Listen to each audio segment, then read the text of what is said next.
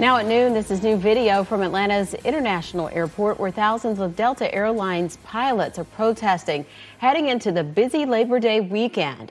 It's part of a nationwide protest by pilots from several major airlines today demanding better pay and more staffing. News 6's Mark Lehman is at Orlando International Airport where another protest is underway. Pilots standing in solidarity here today at Orlando International Airport, which is seeing an increase in demand for the Labor Day weekend. It's that boost in demand coupled with a decrease in staffing that's led to ongoing concerns. It's a call for airline industry changes coming from those who are responsible for hundreds of travelers every day. And we want to make sure that we are recognized and acknowledged for all the sacrifices that we made throughout the pandemic. The pilots who work for several major airlines are bringing attention to contract talks, some that have been on hold for years because of the pandemic. They say they're being overworked and worry about growing fatigue. The staffing shortage was created by the by the airlines. If they want to hire the right people and the best and the brightest, all they have to do is give us great contracts.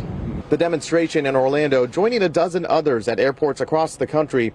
It comes after a nightmare for many travelers over the summer as staffing shortages played a role in thousands of flight delays and cancellations. When a flight gets canceled for a passenger and they don't make it home, we don't make it to our families as well. This also comes as the government is launching a new website that more easily allows passengers to view their rights as consumers. Some airlines have tweaked protocol as a result, and those here are hoping change will come their way as well. We understand all the frustration and cancellation that were caused as the airlines recover from the pandemic.